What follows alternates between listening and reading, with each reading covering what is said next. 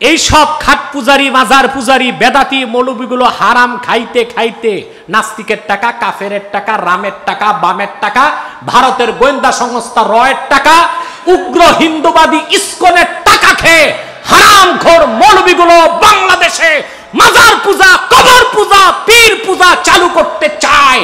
তাহরিকে খাতমের মত বাংলাদেশ তা হতে দিবে না দিবে না দিবে না। এই মাজার পূজার বিরোধিতা করলে আমরা ওহাবি। আমরা খাতি শুননি সৈয়দ আহমদ বেরেলি রহমতুল্লাহ আলাই, কারামত আলী জনপুরি রহমতুল্লাহ উত্তর শরীরায় প্রকৃত সুন্নি। খাটি মমিন, তারাই আশেখের সুন সুন্নতের দোহাই দিয়ে যারা পীরকে সাজদা করে, মাজারকে সাজদা করে মাজারে মান্নাত করে ইমান ইসলামের উপর মাসলাককে মূল্যায়ন করে, তারা ভণ্ড, বেদাতি, সেরেকপন্থী। তাদের সঙ্গে আহল সুন্নাল জামাতের কোনো সম্পর্ক নাই। খাঁটি সুন্নিত তারা, যাদের সবচেয়ে তীব্র হুঙ্কার হবে সকল প্রকার কাফের মোশেক রামবাম, নাস্তিকদের বিরুদ্ধে। খাঁটি সুন্নিত তারাই সেরেক কুফরের বিরুদ্ধে চলবে যাদের সংগ্রাম। খাঁটি সুন্নিত তারাই। আল্লাহ তার রসুল সাল্লামের সম্মান মর্যাদার বিরুদ্ধে একটি অক্ষরকে তারা বরদাস্ত করে নিতে পারবে না। প্রয়োজনে জান মাল উৎসর্গ করে দিবে। তারাই খাঁটি সুন্নি, ঠিক কিনা বলে? আল্লাহর রসুল মোহাম্মদ সাল্লামের জন্ম বৃত্তান্ত মিলাদ পড়া যে কত বড় এবাদত তা তো ভাষায় প্রকাশ করা যাবে না। বরং মোহাম্মদ সাল্লাহ আলী দেড় হাজার বছর আগে যে গাধার পিঠে বসতেন, সেই গাধার পায়ের ধুলাবালির আলোচনা করাও মিন আলাল মুস্তাহাব্বাত, শ্রেষ্ঠ মুস্তাহাব এবাদত বলেন, সুবহানাল্লাহ। হাবিব।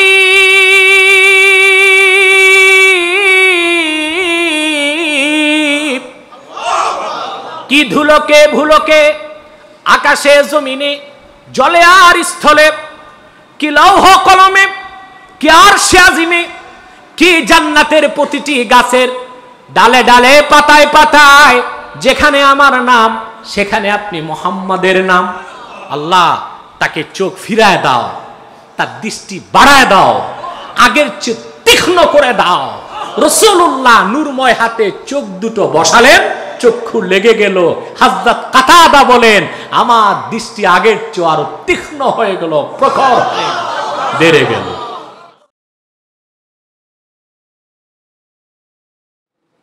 পবিত্র ঈদ মিলাদুন নবী সাল্লাল্লাহু আলাইহি ওয়াসাল্লাম উপলক্ষে আয়োজিত ঐতিহ্যবাহী আব্বাসী মঞ্জিল, জনপুর দরবার শরীফের আজকের বাৎসরিক মাহফিলে বাংলাদেশের বিভিন্ন প্রান্ত থেকে উপস্থিত ইমানদার, দিনদার, নেককার মুসলমান ভাই ও বন্ধুগণ, সকলকে অন্তরের অন্তঃস্থল থেকে জ্ঞাপন করছে মোবারক। সবটুকুন শুক্রিয়া আল্লাহ তাআলার জন্য, যিনি আজকে বিশ্বব্যাপী করোনা মহামারীতে বিধ্বস্ত যখন সারা পৃথিবী, বিশ্ব মানবতা পৃথিবীর ইতিহাসে সবচেয়ে সংকটময় মুহূর্ত পার করছে যে সময়, ঠিক এ সময়ে অনেকটাই অকল্পনীয় এবং চিন্তার ঊর্ধ্বে ছিল আজকের মাহফিল। শুধুমাত্র আমার। নুনবী মোহাম্মদ সাল্লাহ আলী ওয়াসাল্লামের নূরময় কদমের জুতা মুবারকের সৎকায় এ মাহফিলকে আল্লাহ পাক কবুল করেছেন, মঞ্জুর করেছেন। আল্লাহ পাক আমাদেরকে তৌফিক দিয়েছেন এখানে আসার, বসার। রসুল করিম সাল্লাহ আলী হোসাল্লামের ভালোবাসা হৃদয়ে স্থাপন করে একটি রাত অতিক্রম করার। সেজন্য আমরা আল্লাহ পাকের শুক্রিয়া আদায় করার জন্যে অবনত চিত্তে হৃদয় নিংড়ানো ভালোবাসা উজাড় করে ছোট বড় সকলে সমবেত কণ্ঠে একবার বলি, আলহামদুলিল্লাহ।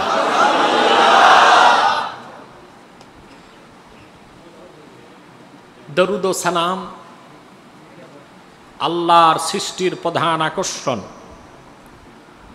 বিশ্বসভার সভাপতি, নবিকুল সম্রাট, নবী আমার মোহাম্মদ সাল্লাহ আলী ওসাল্লামের উপর। আল্লাহ পাক যাকে সর্বশ্রেষ্ঠ ও সর্বশেষ নবী ও রসুল হিসেবে প্রেরণ করেছেন আজ থেকে দেড় হাজার বছর আগে। যার পরে আজ পর্যন্ত পৃথিবীতে অবশ্যই কোনো প্রকার ই নবী কিংবা রাসুল অবশ্যই আসে নাই, অবশ্যই এখনও নাই, অবশ্যই কেয়ামত পর্যন্ত আসবে। সম্মানিত ভাই বন্ধুগণ, আপনারা সেই দুপুর থেকে বক্তব্য শুনে আসছেন। ঠিক কিনা? কোরআন সুন্না ভিত্তিক সহি আকিদার মানদণ্ডে যে কথাগুলো আমরা শুনেছি, তা যেন ফুটন্ত গোলাপের সুভাষ নিয়েছি। ঠিক কিনা? প্রতিটি সহি কথা আল্লাহ পাক যেন আমাদের জেহেন নাসীন করে দেন। আর ইচ্ছা বা অনিচ্ছায় যদি কোনো ভুল কথা,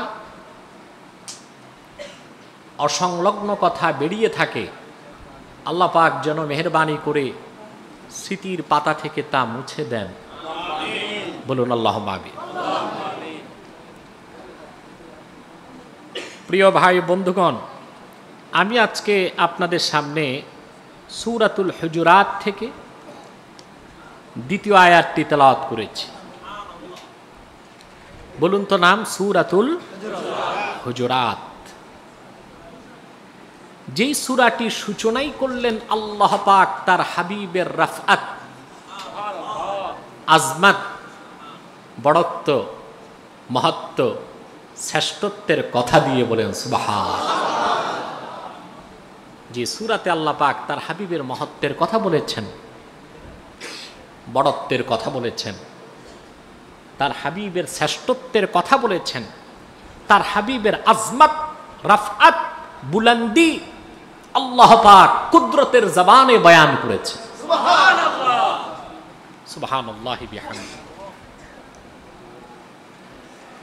আজকে এই আয়াতকে কেন্দ্র করে অনিবার্য কারণে আমাদের সামনে তিনটি বিষয় আসতেছে। কয়টি বিষয়? আজমাতে রসুল। মোহাব্বাতে রসুল। সুন্নাতে রসুল। সাল্লাহ আলী হাসান কয়টি বিষয়? বলুন তো ভাই সব। আজমাতে রসুল। মোহাব্বাতে রসুল, সুন্নাতে রসুল। এই তিনটি কনসেপ্ট যার মধ্যে থাকবে সেই আশেকে রসুল। আমাদের দেশে সব কিছুতে ভেজাল ঢুকেছে, সুন্নিদের মধ্যে ভেজাল ঢুকছে। আর এটা হলো বর্তমানে এই খাঁটি সুন্নি খাঁটি ওহাবি আর ফরমালিনযুক্ত সুন্নি মানি বেদাতি। এটা এখন বাংলাদেশে কিছুদিন ছিল টক অব দ্য কান্ট্রি। মিডিয়াতে শুধু দেখেছেন এই, ওই যে আমার ছাত্ররা সুন্দর বলে, মাজার পূজারি, কবর পূজারি, খাট পূজারি। এরা ভীষণ গালিগালাজ করেছে আমাদেরকে। আমি এসব বেদাতিদের জবাব দিয়ে সময় অপচয় করাকে বৃথা মনে করেছি তারা প্রতিদিন রাত অমার্জিত, অসংলগ্ন, অশালীন, ভদ্রতা বহির্ভূত শব্দ প্রয়োগ করে আমাদের বলল, আমরা সেটাকে পাত্তা দিই নাই। কেন? আমরা জানি আমাদের পক্ষে তারা বলল যেমন লাভ নাই, বিপক্ষে বললেও কোনো লাভ নাই। সে কারণে আমাদের আজকে চিনতে হবে প্রকৃত অর্থে আশেকের রসুল কে। তিনটি জিনিস, আজমতে রসুল, মোহাব্বতে রসুল, সুন্নতে রসুল। এই তিনটা যার মধ্যে জমা হলো আল্লাহর পবিত্র সত্তার কসম, সেই আশেকে রসুল। এই তিনটার একটাও যার মধ্যে নাই, শুধু মিলাদ কিয়াম করার দ্বারা সে সুন্নি তো দূরে থাক, মুসলমান হতে পারবে কিনা তাতেই সন্দেহ আছে।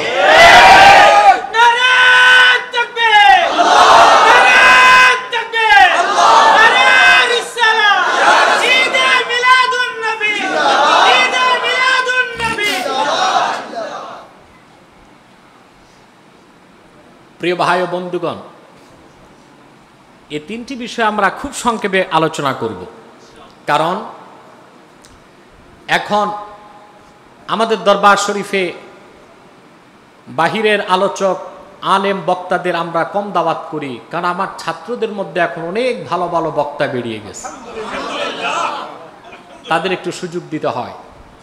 তারপরও আন্তর্জাতিক মানের পীরমা সাহেবগণ এখানে থাকেন, আলহামদুলিল্লাহ। অনেকে আলোচনা করেছেন, অনেকে করবেন। আর অনেক স্বনামধন্য বাংলাদেশের প্রতিষ্ঠিত আলোচক বক্তাগণ বসে আছেন, যাদেরকে আমরা সময় দিতে পারছি না বলে চরম দুঃখিত। তবে তারা উপস্থিত হয়েছেন, এটা আমরা আমাদের জন্য তাদের বদান্যতা আর তাদের জন্য সৌভাগ্য মনে করি। এখন ভূমিকাতে কিছু কথা আমাদের শুনতে হয়, আর তা হলো, আমরা ঈদ মিলাদুলনবী সাল্লাহ আসলাম মাহফিল করি কেন? আগে তো আমি অনেক কিতাবপত্র দিয়ে দলিল দিতাম। দেখছেন না? এখন আর এত দলিল দিতে হয় না। কারণ দেশের মানুষ এখন ভুল ফতুয়া মানতে চায় না। তারা এখন জানে, ঈদ মিলাদুলনবীর মাহফিল এই আমলটি কোরআন, সুন্না নির্ভর একটি ভালো আমল। একটি উত্তম আমল। আপনারা জানেন, প্রায় তিন বছর যাবৎ সৌদি আরবে আরব সরকার রাষ্ট্রীয়ভাবে ঈদ মিলাদুলনবী পালন করে। ওখানে যে সকল মহান আলেম, ইমাম আছেন, আমার দেশে যারা মিলাদুলনবীর বিরোধিতা করেন, আরবের ওই সব আলেমের জুতা বহনের যোগ্যতাও এখনও তাদের হয় নাই। এই মৌলবীদের অবস্থা হলো জিব্বা যতটুক, ফতুয়া তার চেয়ে লম্বা। ঠিক কিনা? জিব্বা যতটুক, ফতুয়া তার চেয়ে লম্বা। আমরা কেন করি মিলাদুলনবী মাহফিল? প্রশ্ন আসে না? প্রথম কথা মিলাদুলনবী এটা অস্বীকারের কোনো সুযোগ নেই। রসুল করিম সাল্লাহ ইসলামের মিলাদের অস্বীকারকারীকে আমরা কাফের মনে করি।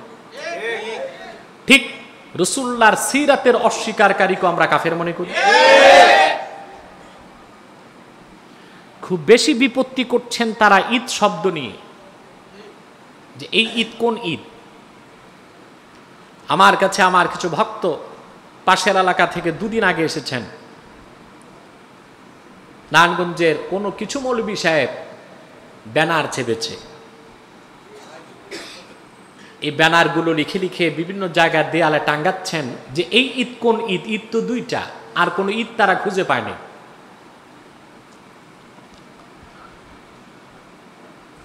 যারাই ঈদে মিলাদুলনবীর ঢালাও বিরোধিতা করে মিলাদুলনবী বলতে কোরআন হাদিসে কিছু নেই, তাদের দুইটা সমস্যার একটা সমস্যা আমি পেয়েছি। এক, হয় চোখের সমস্যা, নয় মনের সমস্যা। মনের সমস্যা হলো একটা রোগ। ওইটা নেফাক। মুনাফিকি। এই রোগ যখন ভিতরে ঢুকে তখন হাজার দলিল মানতে মন চায় না। আরেকটা সমস্যা চোখে। চোখে লামা ঝাবিদের চশমা দিয়েছে। এই জন্য ঠিক মতো দেখে না। ঠিক। মতো বলে ঈদ দুইটা আর কোন ঈদ নাই। মোল্লা আলী কারি রহমতুল্লাহ কোরআন সুন্না থেকে একটি দুইটি নয় বারো প্রকার ঈদকে প্রমাণ করেছে আমি একটি হাদিস শোনাচ্ছি তিরমিজিতে এসছে সুনান তিরমিজির হাদিস وعن عبد الله بن عباس رضي الله تعالى عنهما أنه قرأ اليوم أكملت لكم دينكم وأتممت عليكم نعمتي ورضيت لكم الإسلام دينا فعنده يهودي فقال لو نزلت هذه الآية علينا لاتخذنا ذلك اليوم عيدا রসুল্লাহ সাল্লাহ সাল্লামের আপন চাচাতো ভাই আবদুল্লাহ বিন আব্বাস রদিয়াল্লাহ তালানহুমা তিনি কোরআন করিম পড়তেছিলেন সুরা মায়দা। চতুর্থ আয়াতে যখন আসলেন, পড়তে লাগলেন আলিয়ম আকমাল তুলাকুম দিন আকুম ওয়াতমাম তো আলাইকুম নেমাতি অরাদি তুলাকুমুল ইসলাম আদিনা আপনার তো এই অর্থ বুঝেন নাই। এই জন্য সুবাহান আল্লাহ বলতে পারলেন না। কথাটি অপ্রিয় হলেও সত্য, দেড় হাজার বছর আগের আরবের ইহুদিরা আমাদের অনেক বেশি কোরআন বুঝত। ঠিক কিনা? কোরআন যে সত্য তাও জানত। মোহাম্মদ সাল্লাম আল্লাহর প্রেরিত সর্বশ্রেষ্ঠ, সর্বশেষ নবী রসুল তাও জানত। সমস্যা ছিল গ্রহণ করত না। আবদুল্লাহ বিন আব্বাস রদিয়াল্লাহ হুমা এই আয়াত পড়লেন আর ওনার সামনে বসা এক ইহুদি বসার থেকে দাঁড়িয়ে গেল। তিরমিজিতে ইয়াহুদির নামটা আসে নাই। বুখারিত হাদিসটি আছে, সেখানেও নামটা আসে নাই। কিন্তু ইমাম আহমদ বিন হাম্বাল তার মুসনাদে নামটি উল্লেখ করেছেন। লোকটি ছিল কাবুল আহবার ইয়াহুদি ধর্মের সবচেয়ে বড় আলেম এবং পণ্ডিত। পরে হজরত উমরের যুগে লোকটি মুসলমান হয়েছে এবং মুসলিম জগতের শ্রেষ্ঠ মুফাসিরদের একজনে পরিণত হয়ে গেছে কাবুল আহবার বসাতে দাঁড়ায় গেছে কাবুল আহবার ডাক দিয়ে বললেন ইবনে আব্বাস لو نزلت هذه الآية علينا لاتخذنا ذلك اليوم عيدا যদি এরকম একটি আয়াত আমাদের নবী মুসার উপর তাওরাতে নাজিল হতো, আয়াত নাজিলের দিনটিকে আমরা ঈদের দিন বানিয়ে ফেলতাম।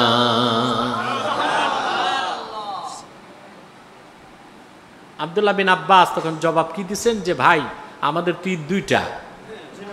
ঈদুল ফিতর, ঈদুল আজহা বানানোর তো সুযোগ নাই। এ জবাব দিচ্ছেন না? জবাব তিরমিজির হাদিসের বাকি অংশে এসেছে। তিনি বললেন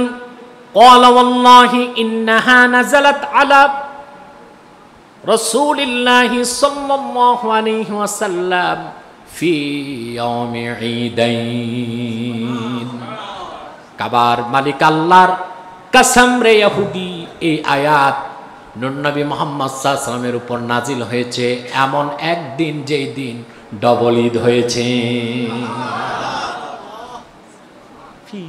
আরাফা ওয়া ইয়াউমি জুমআ দিনটি ছিল আরাফার দিন, দিনটি ছিল জুমার দিন। তাহলে আবদুল্লাহ বিন আব্বাস, যিনি রাইসুল মুফাসসিরিন ভারত পৃথিবী নয়, গোটা সৃষ্টি জগতের শ্রেষ্ঠ মুফাসির রাইসুল মুফাসিরিন আবদুল্লাহ বিন আব্বাস রদিয়াল্লাহ তালানহুমা নাবালেক থাকতেই তিরিশ পারা কোরআনের পুরা ইলম আল্লাহ তার সিনায় মুসাজ্জাল করে দিয়েছিল। নূর নবীর নূরের হাতের বরকতে। বুখারি সহি বুখারি কিতাবুল ইলমের মধ্যে এসেছে একটি হাদিস। আবদুল্লাহ বিন আব্বাস রাদিয়াল্লাহু তাআলা আনহুমা বলেন আমি একদিন আল্লাহর রসুলকে অজুর পানি এনে দিলাম অজুর পানি পেয়ে রসুল্লাহ এত খুশি হলেন فضمني رسول الله صلى الله عليه وسلم فقال اللهم علمه التاويل নূর নবী আমাকে নূরময় বুকের সাথে জড়ালেন অন্য বর্ণনায় আমার সিনায় একটা থাপ্পড় দিয়ে বললেন আল্লাহ তুমি আমার এই ছোট্ট চাচাতো ভাই আবদুল্লাহ বিন আব্বাসকে কোরআনের এলেম দান করে দাও। আমার নূর নবীর নূরের হাতের একটি থাপ্পড় লাগার সঙ্গে সঙ্গে আল্লাহ পাক নাবালেক ইবনে আব্বাসের সিনায় তিরিশ পারা কোরআন মুসাজ্জাল করে দিলেন। তিরিশ পারা কোরআনের তাফসির আল্লাহ পাক ওনার সিনায় দিয়ে দিলেন। যিনি সবচেয়ে বেশি কোরআন বুঝলেন, তিনি বললেন আরাফার দিন, ঈদের দিন, জুমার দিন, ঈদের দিন। এটা কি আমার কথা না ইবনে আব্বাসের কথা? উনি বললেন, প্রত্যেক জুমার দিন ঈদের দিন, প্রত্যেক হজের দিন ঈদের দিন, তাহলে আমরা দুই ঈদ ছাড়া আরও দুটো ঈদ পেলাম। কথা বলেন। আর ওনারা ঈদ খুঁজে, সমস্যা কয়টা? চোখে নয়, মনে। আর কোনো সমস্যা নেই। ঈদ কাকে বলে? আল্লামা বদরুদ্দিন আইনি অমদাতুল কারিতে ব্যাখ্যা করেছেন। ঈদ হলো আসুরুল আয়েদ। আসুরুল আয়েদ। যে আনন্দটা বারবার মনে জাগে তাকে ঈদ বলা হয়। কি বলা হয়? অর্থাৎ ঘটনা একবার ঘটবে, আনন্দ বারবার লাগবে। একে বলা হয় ঈদ। কি বলা হয়?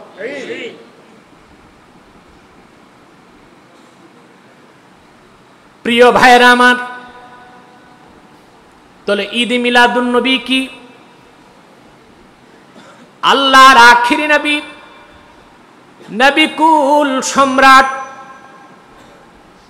মোহাম্মদ আলাইহি আজ থেকে দেড় হাজার বছর আগে রবিউল আব্বালের বারো তারিখ সুবহে সাদেকের সময় মক্কা মুকাররামায় আম্মা জান হজরতে আমেনার ঘরে তাশরিফ নিয়ে এসেছেন যে রাতে।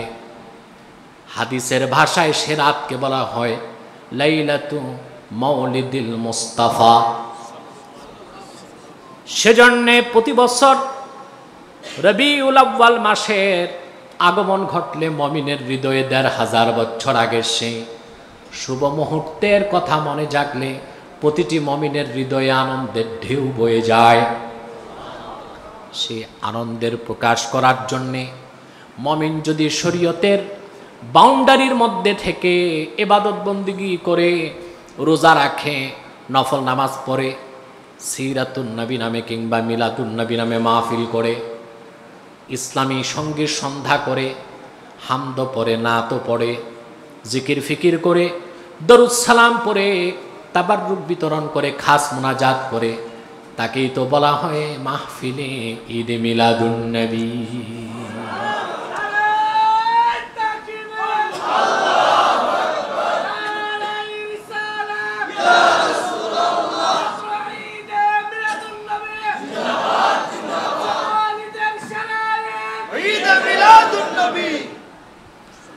প্রিয় ভাই সব আমার প্রিয় ভাই ও বন্ধুগণ রসুল্লাহর কথা মনে করে স্মরণ করে আনন্দের প্রকাশ করার নির্দেশ তা আল্লাহ নিজেই করছেন সোরা ইউনুস আল্লাহ পাক বলেছে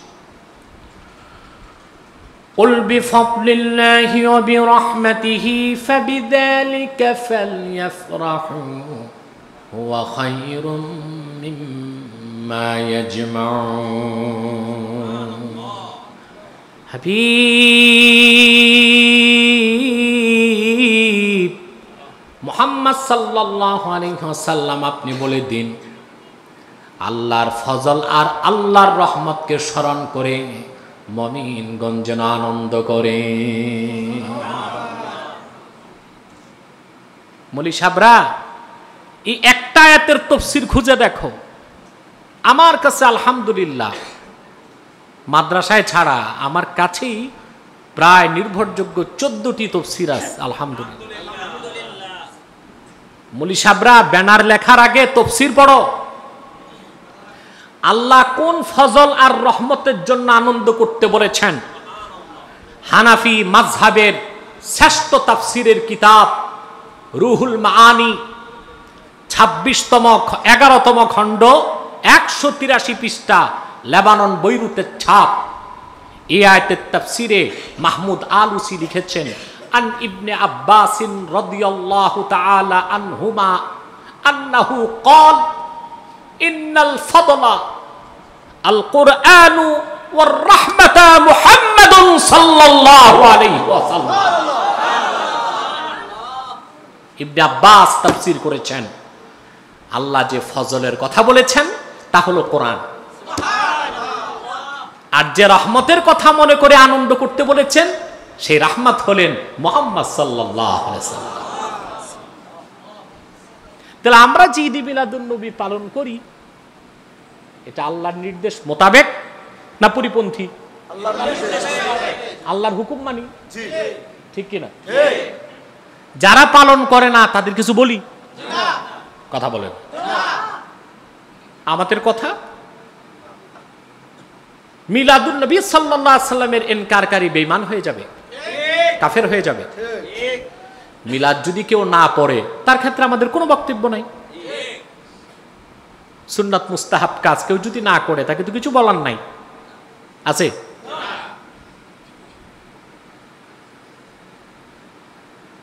আমি বলব ভালো করে নিজেদের কিতাবগুলো পড়ুন।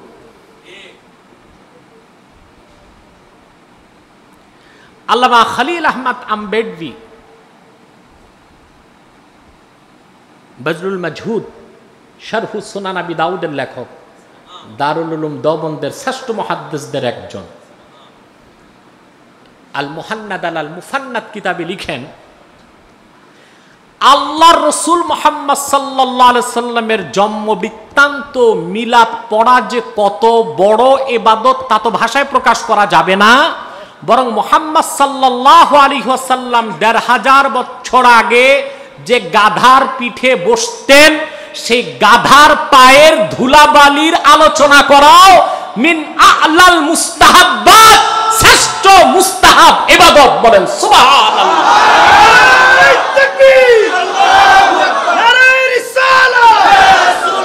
পবিত্র ঈদে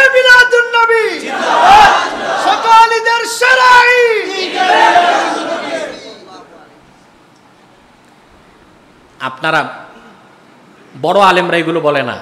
যে ঈদ কোন ঈদ? মিলাদুনবী কোথায় পেয়েছ? এগুলো বলে কিছু খালি কলস আছে না?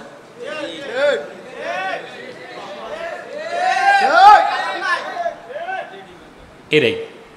এই যে টালটু, বল্টু, বেলটু, কিছু মৌলবী সাহেব আছে। আর এ কারণে দ্বন্দ্ব সংঘাত বাড়ে।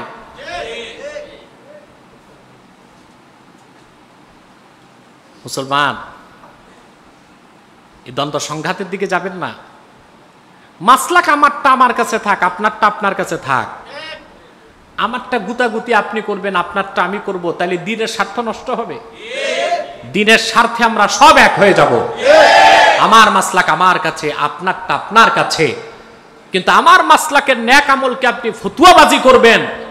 আমরা অন্ধ তাকলিদ করি না। তাকলিদ মা তাকিক আমাদের তাকলিদের সাথে আছে পাহাড় সমান তাহাকিক। আপনি তুড়ি মেরে উড়িয়ে দিবেন, তা তো হয় না। ভারসাম্যে আসুন। সংকীর্ণতা পরিহার করুন। আসাবিয়াত, দল প্রীতি, স্বজন প্রীতি, ভোজন প্রীতি, এটি বাদ দেন। প্রীতি কয় রকম? একটা স্বজন প্রীতি। আরেকটা দল প্রীতি আরেকটা ভোজন প্রীতি আপনার দলেরও না রক্তেরও না ভালো করে পেটটা ভরে খাওয়াই দেন ও আপনার সামসামি করবে। ঠিক দল প্রীতি স্বজন প্রীতি ভোজন প্রীতি বাদ দিয়া দলিল প্রীতি পয়দা করে কি প্রীতি? তারপর আমি বলব কোন ভাই ও বন্ধু যদি মিলাদ কিয়াম মিলাদুল নবী সাল্লাহ আলি সাল্লাম, এই বিষয়গুলো বুঝতে চান। বহু বাহাস করেছি, আলহামদুলিল্লাহ। আমার বয়স যত, তার অর্ধেকের বেশি বয়স গণলে হবে, বাহাসে বাহাসে গেছে, আলহামদুলিল্লাহ। কোথাও বাহাসে যে পেয়েছি নুর নবী সাল্লাহ সাল্লামের জুতা মুবারকের সৎকায় জিতেছি।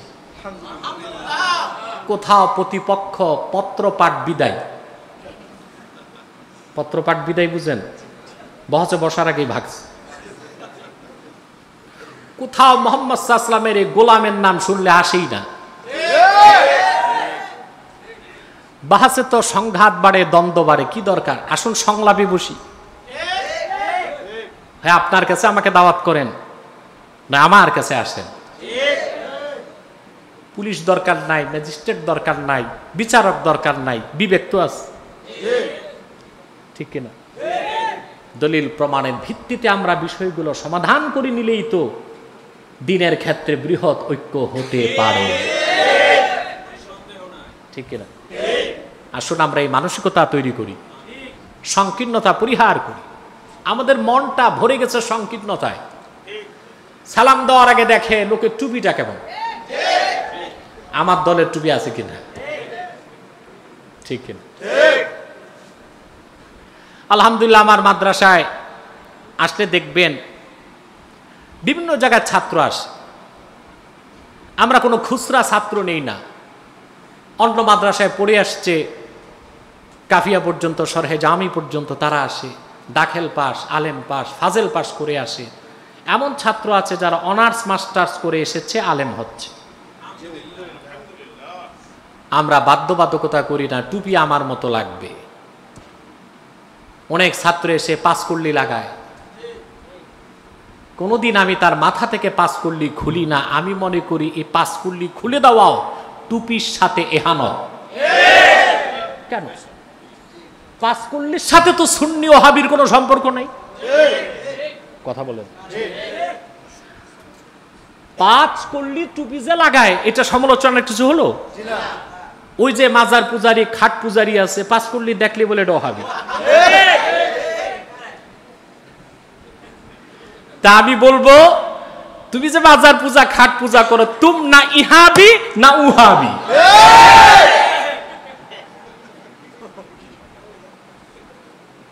টুপিতে ওহাবি শুননি তো যে টুপি লাগায় না, সে কি? কথা বলবেন না? যার টুপি নাই সে কি? পাস করলে যে লাগাইলো, টুপি তো লাগাইছে। রসুল্লাহর সুন্নতের মহব্বতি তো লাগাইছে।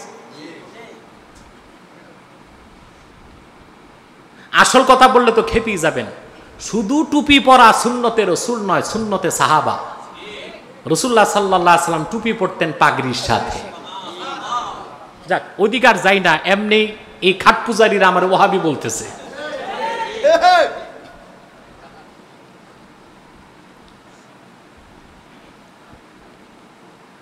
প্রিয় ভাই বন্ধুগণ তাহলে সংকীর্ণতা পরিহার করতে হবে। টুপি দেখে সালাম নয় ইমান আকিদা দেখে সালাম। আমরা জুব্বা কুর্তা দেখি গুন্ডি কডাস বোতাম কয়টা? বোতাম আছে? গনে আমার তিনটা তার তিনটা এ লোকটা ঠিক আছে। এরপর দেখি কলার আছে না নাই? এরপর দেখি গোল না ফারা। তো যে পেন, শার্ট আর টাই লাগায় উঠটা দেখো না কেন? কথা বলে। এসব শিকিয়াদলি পাশিকা বাটকারা মৌলবীরা উন্মতের মধ্যে ফেতনা, তাফাররুকা, বিভেদ সৃষ্টি করছে আর কিছু না। বড় আলেমরা এগুলো করে না। কখনো করে না। আমি কার কথা বললাম? খালিল আহমদ রহমতুল্লাহ। দেওবন্দের শ্রেষ্ঠ মহাদ্দেশদের একজন। তিনি তার কিতাবে লিখেছেন, আরে রসুলুল্লাহর মিলাদ পড়ার চেয়ে তো সোয়াবের কাজই নাই।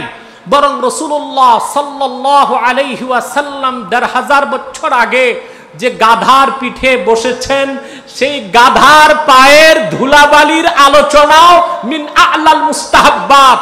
অতি উত্তম শ্রেষ্ঠ মুস্তাহাব এবাদতের অন্তর্ভুক্ত। কারণ রসুল্লাহ যে গাধা ব্যবহার করেছেন সেটাও হাদিসে এসেছে। আর হাদিস মানি ওয়াহি, কোরআন হলো ওয়াহি হাদিস ওয়াহি, কোরআন হলো মাতলু, হাদিস গায়রে মাতলু, হাদিসের প্রতি শব্দে দশটি করে নাকি আল্লাহ দান করেন। সেই জন্যে মিলাদুন্নবী পড়লে মিলাদুন্নবীর মাহফিল, সওয়াবের কাজ, নেক কাজ, উত্তম কাজ, ইবাদত এতে কোনো মুসলমানের সন্দেহ থাকতে পারে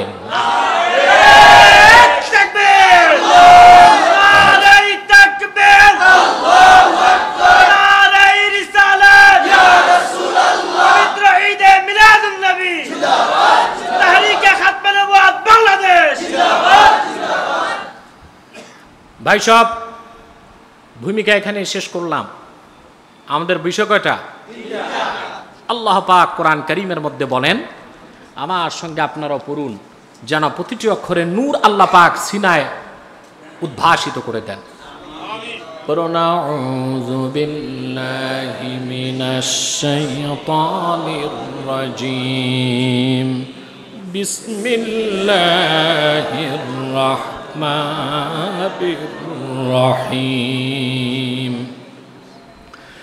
يا أيها الذين آمنوا لا ترفعوا أصواتكم فوق صوت النبي ولا تجهروا له بالقول كجهر بعضكم لبعض أن تحبط أعمالكم وأنتم لا تشعرون আল্লাহ রব্বুল আলমিন বলেন, মমিনগণ, বিশ্বাসীগণ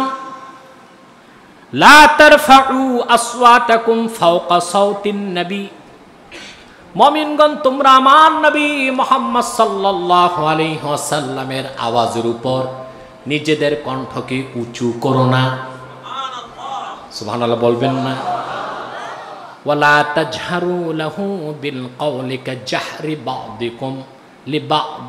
আন তাহবাতা আ'মালুকুম ওয়া আনতুম লা তাশউরুন তোমরা একজন সাহাবী আরেকজন সাহাবীর সঙ্গে যেভাবে উঁচু সরে উচ্চ কণ্ঠে জোরে জোরে কথা বলো, আবার নূর নবীর কদমের সামনে তোমরা ওইভাবে উঁচু গলায়, উঁচু আওয়াজে কথা বলো না। যদি বলো কি হবে?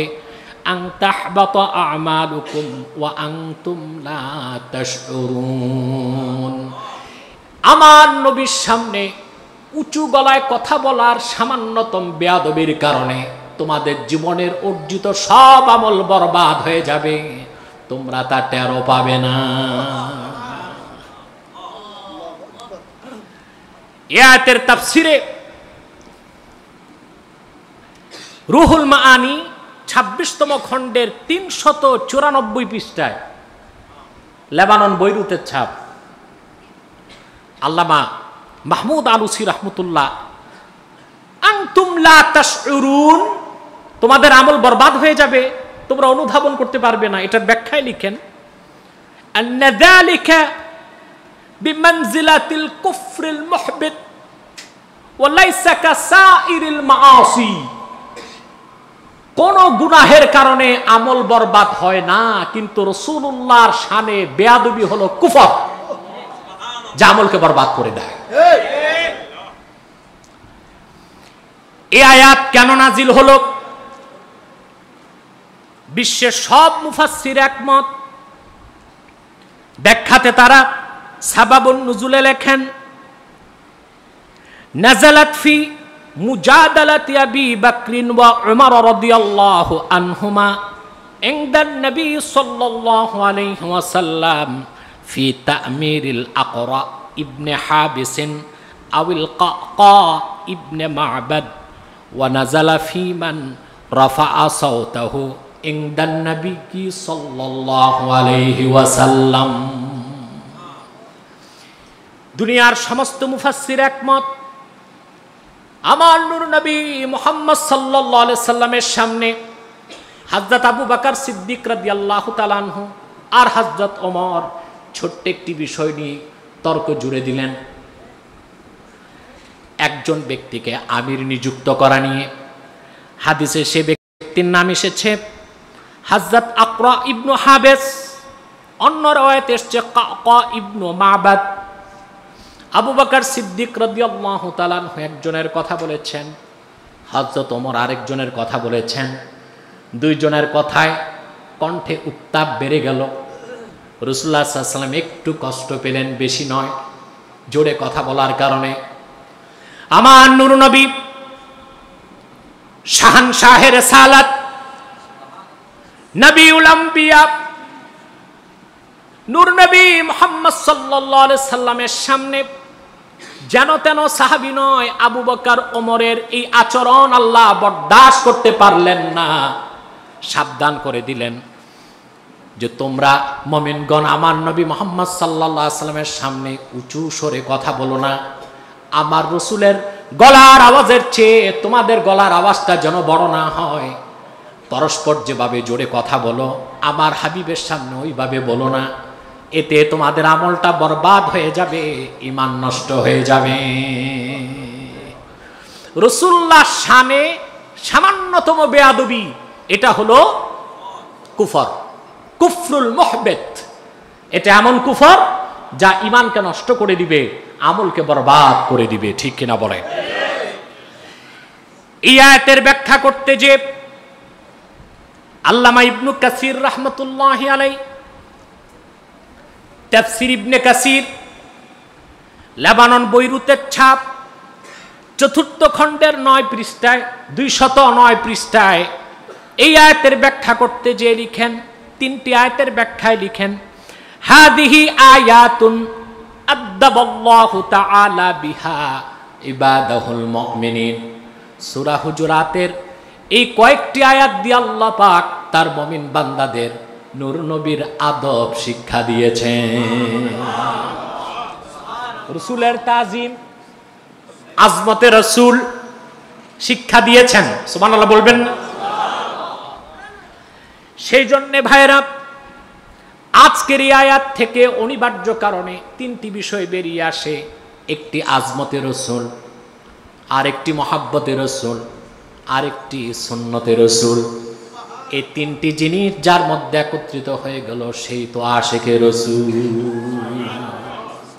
সেই সুন্নি। সে কি? এখন আসেন, আজমতে রসুল, রসুলের তাজিম কি? তা আমরা একটু বুঝব। ঠিক কিনা? আল্লাহর রসুলের আজমত, তাজিম, সম্মান কত বেশি?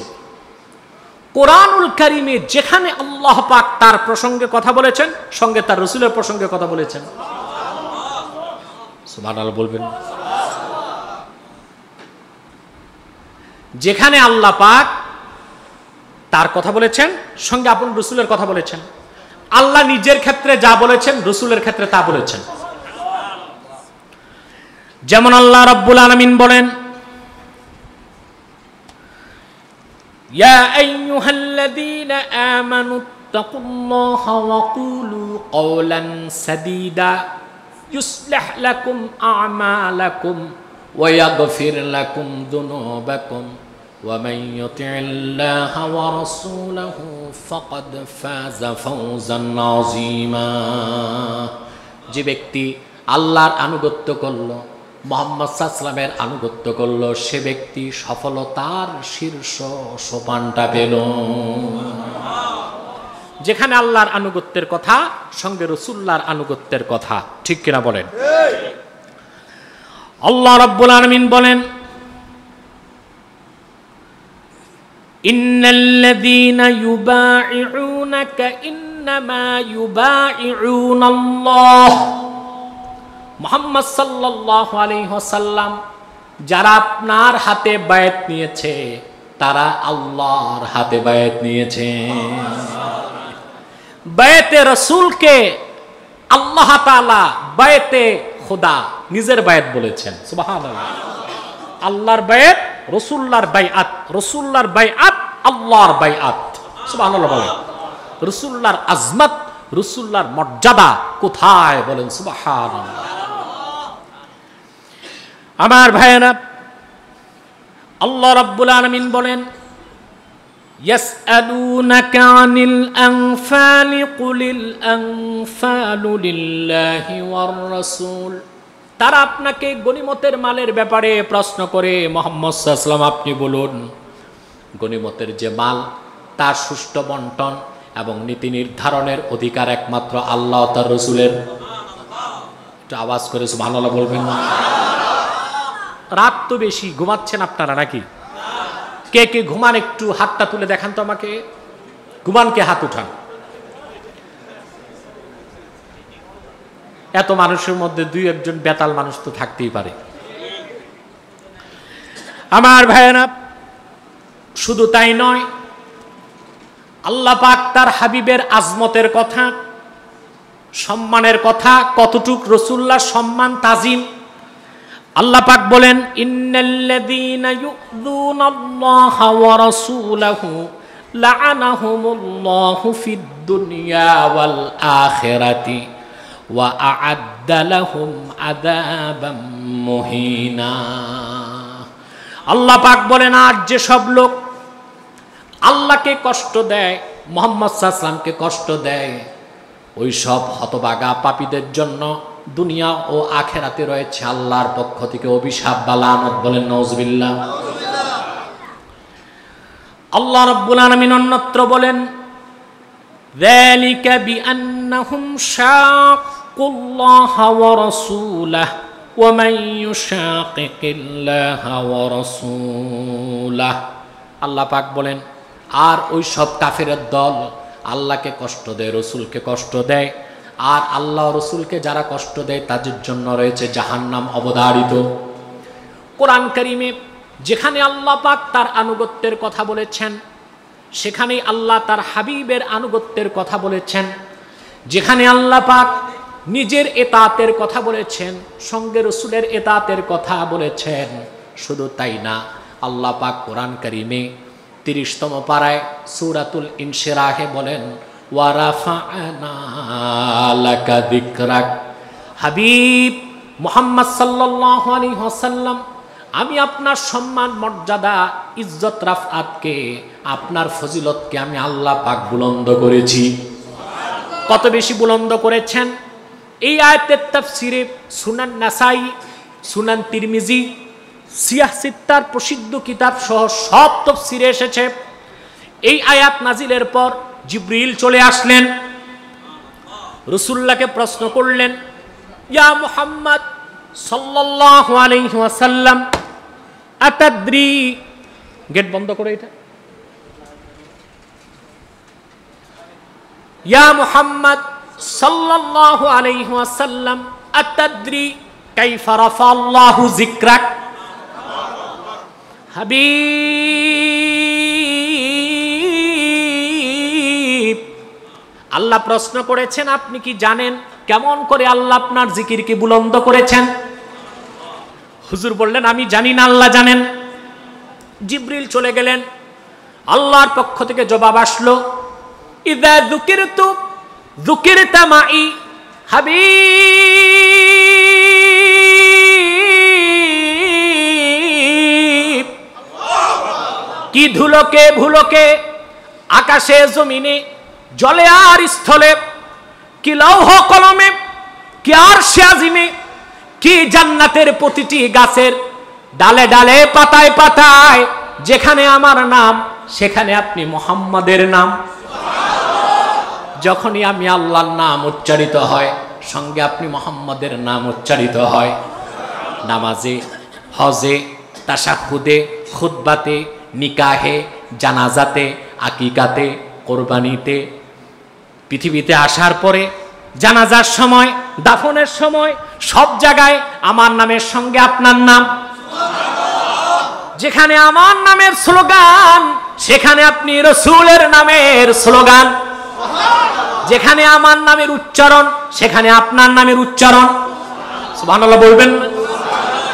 দুলক মুলক ছাড়িয়ে সাত আকাশ পাড়িয়ে, সিদ্রাতুল মুনতাহার উপরে সত্তর হাজার নূরের পর্দার উপর আমার আল্লাহ পাক আর সে আজমে নিজের নামের সঙ্গে মোহাম্মদ নাম লিখে দিয়েছেন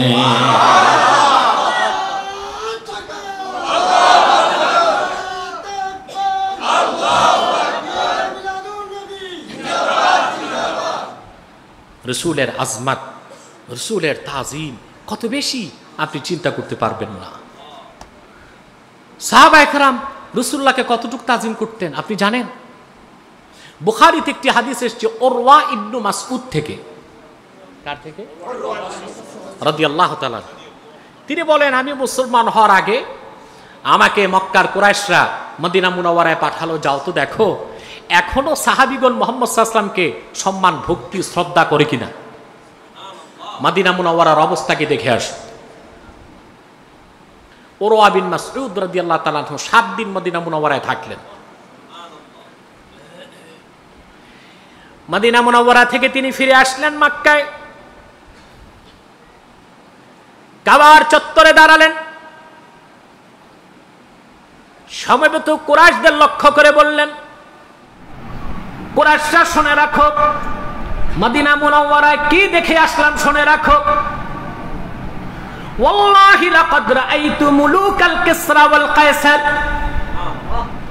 আমি রোম সম্রাটদের দেখেছি, পারস্যের সম্রাটদের দেখেছি, রোম সম্রাটদের দেখেছি, কিন্তু মাদিনা মোনাব্বারায় মোহাম্মদ সাল্লামের যে রাজত্ব দেখেছি, তা তো চোখে দেখি নাই। আমি সাত দিন মোহাম্মদ সাল্লামের কদমের কাছে ছিলাম আমি দেখতাম তিনি যখন মদিনা মুনাব্বারাতে হাঁটতেন, দুই পাশে সাহাবিগণ অপেক্ষায় থাক, অপেক্ষা করতেন, নূর নবী থুতু কখন ফেলবেন? সাত দিনে এমন একদিনও দেখি নাই রসুল্লাহর থুতু মদিনা মুনাওয়ারার মাটিতে পড়েছে। আমি দেখেছি রসুল্লাহ থুতু কোনো না কোনো সাহাবি হাতে নিয়েছেন। আর নূর নবীর সেই মুবারক থুতু দেখলাম সাহাবি তার চেহারার মধ্যে বরকতের জন্য মালিশ করেছেন।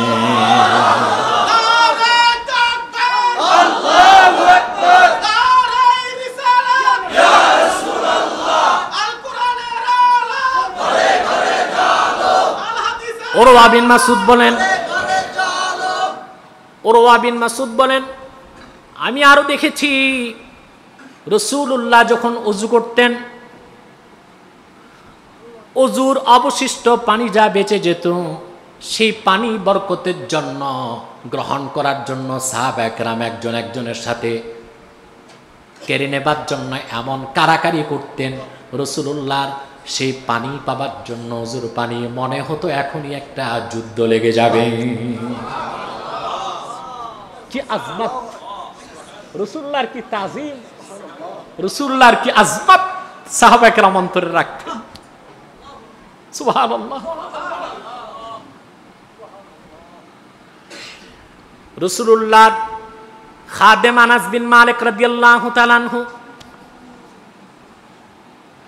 আল্লাহর হাবিব যখন মদিনা মুনাওয়ারাতে গেলেন, আনাস বিন মালিকের বয়স তখন মাত্র দশ। তিনি বলেছেন খাদিমতুন নবিয়া আলাইহি ওয়াসাল্লাম আশরা সানাওয়াত। 10 বছর আমি নূর নবীর খেদমত করেছি। আমার মা রাসূলুল্লাহর কাছে নিয়ে গেলেন আমাকে। নবীর কদমের সামনে আমি বসে গেলাম। আমার মা ডেকে বললেন, ইয়া রাসূলুল্লাহ, আমার একমাত্র সন্তান আজকে আমি আপনার কদমে ওয়াকফ করে দিলাম। এই সন্তান আর আমার দরকার নেই। শুধু আমার সামনে তাকে একটু দোয়া করে দেন। বদরুদ্দিন আইনি অমদাতুল কারিতে হাদিস নকল করেছেন। রসুল্লাহ আনাসের মাথায় হাত রেখে চারটা দোয়া করলেন।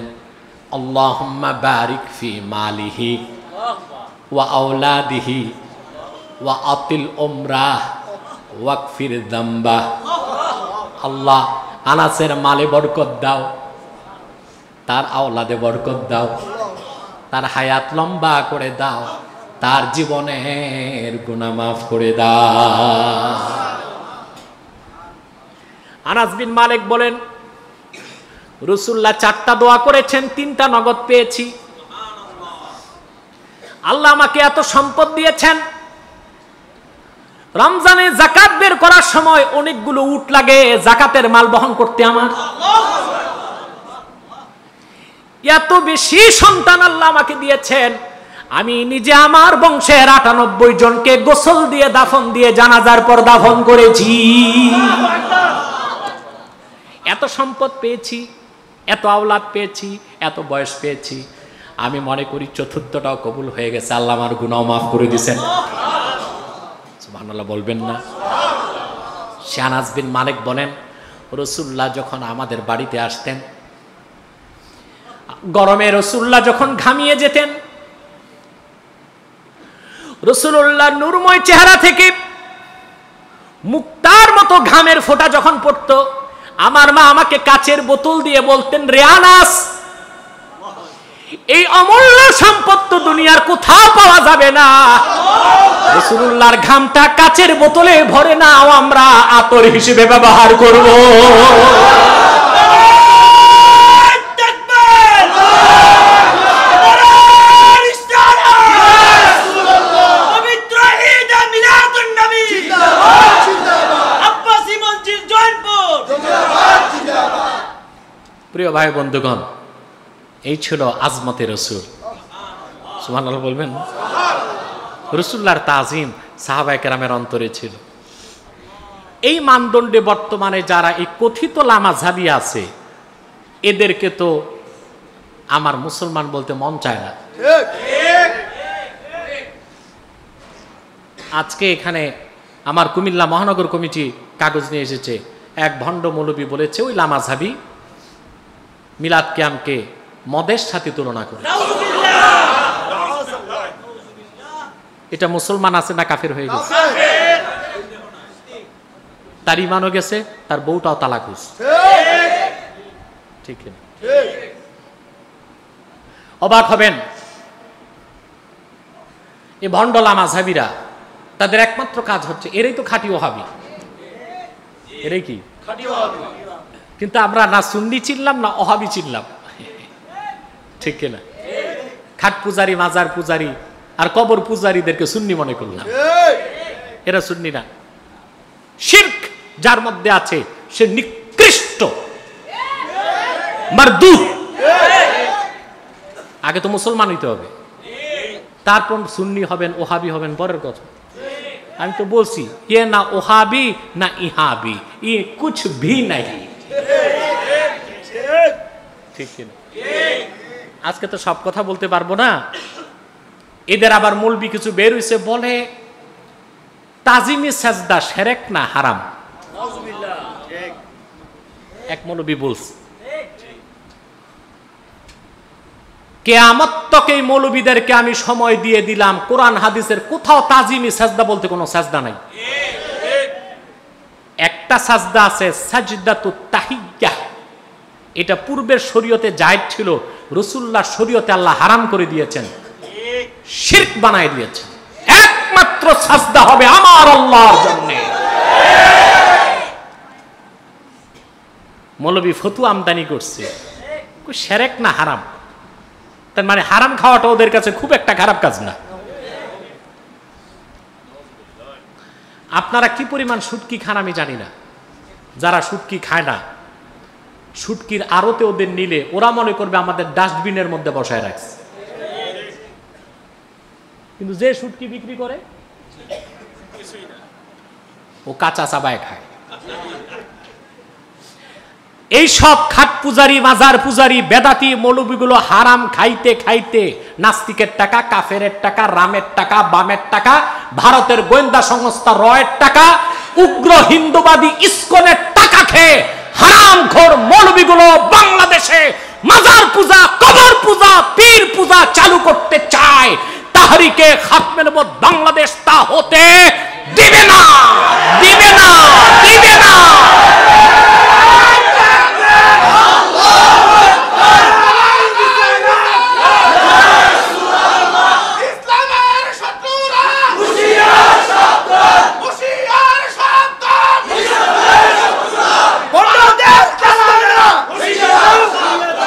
প্রিয় ভাই বন্ধুগণ, একটা সাজদা আল্লাহ জায়েজ রেখেছিলেন পূর্বের নবীদের যুগে ওটা সাজদা তো তাহিয়া।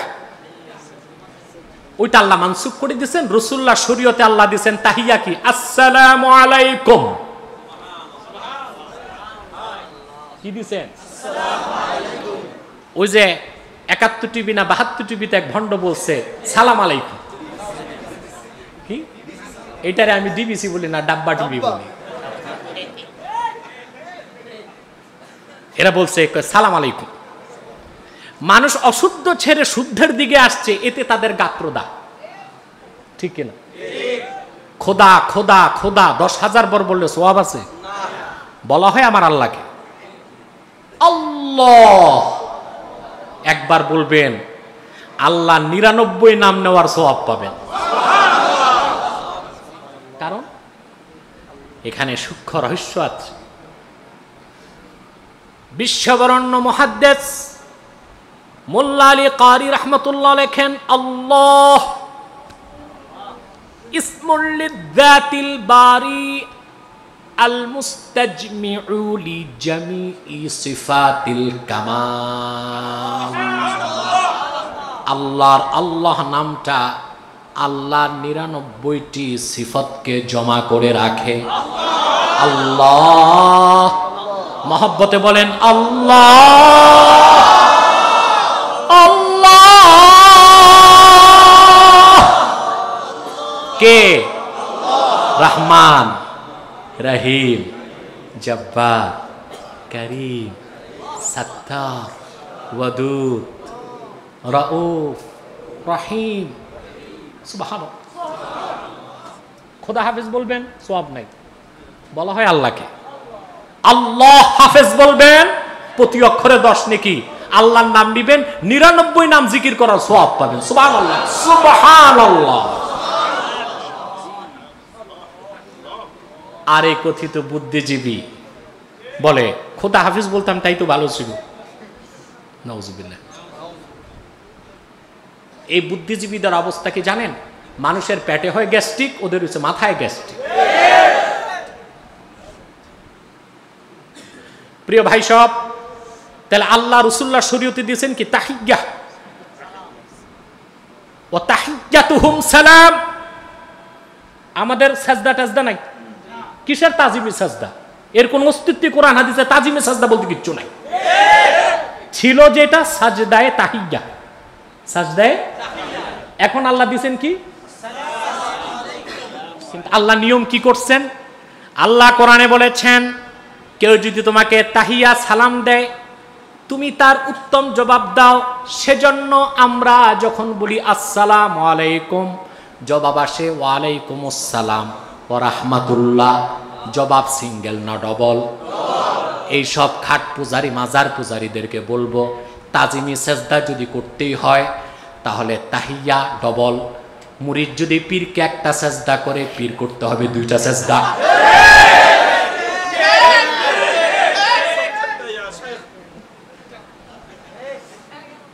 পীর করবে কয়টা? মুরিদ করবে? পীর করবে? আরে এতদিন আমার বলছো ওহাবি এখন কি যেন বলে কালকে থেকে আল্লাহ তালা ভালো জানে।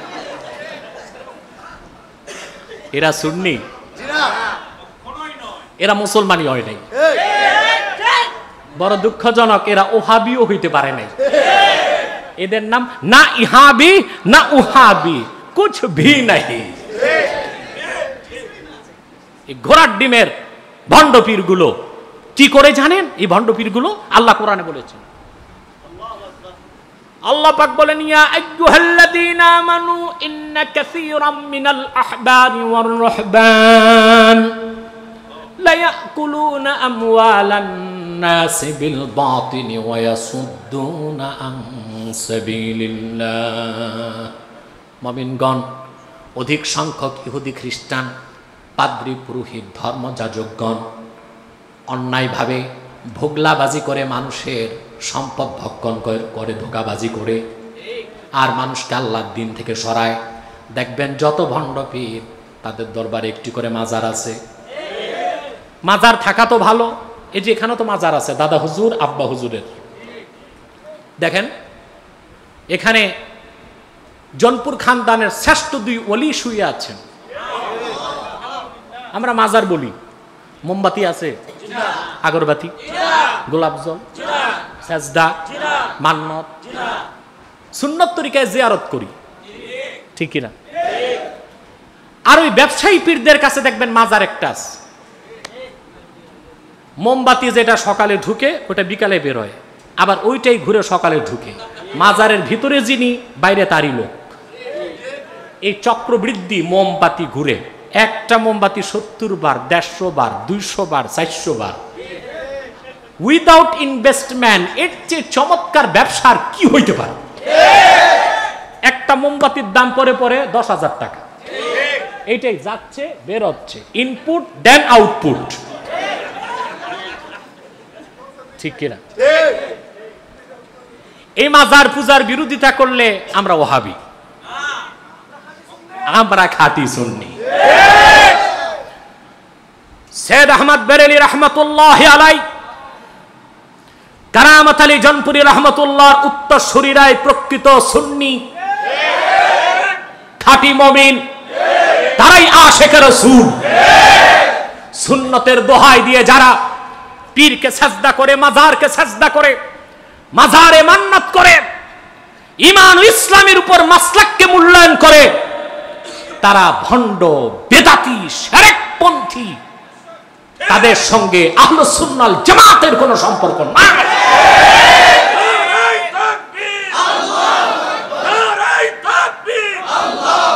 বেদাতিরা সময় দেখো। প্রিয় ভাই সব, প্রিয় ভাই সব, আমরা দ্রুত সামনের দিকে বাড়ি। আজমতে রসুলের কথা শুনেছি। ঠিক কিনা? সাহাবা একরাম কীরকম তাজিম করতেন রসুল করিম সাল্লাহ আলি সাল্লামকে? চিন্তা করতে পারবেন না রসুল্লার আজমত কি জিনিস? এবার আসেন, রসুল্লার আজমত কি জিনিস তা বুঝাতে। আমি আরেকটি হাদিস শোনাচ্ছি, এটা হাদিস না, আশ্রুস আশ্রুস সহাবা, আশ্রুত তাবিইন হাদিসের মতো এটা, আসার যেটা। বলতে পারেন আপনারা পৃথিবীর প্রথম মুজাদ্দেদের নাম? ওমর ইবনু আব্দুল আজিজ রহমতুল্লাহ। হজরত অমর রাদিয়াল্লাহু তাআলা আনহুর মেয়ের ঘরের নাতি। কথা বুঝতেছেন? হজরত ওমরের প্রথম মুজাদ্দেদ, ওমর ইবন আব্দুল আজিজ। ওনার ব্যাপারে আল্লামা বদরুদ্দিন আইনি অবদাতুল কারি প্রথম খণ্ড একশো আটান্ন পৃষ্ঠায় একটা ঘটনা লিখেছেন তিনি যখন মৃত্যু সজ্জায় তিনি তখন ওনার সন্তানদেরকে ডেকে একটা ওসিয়ত করলেন কি ওসিয়ত সুবহান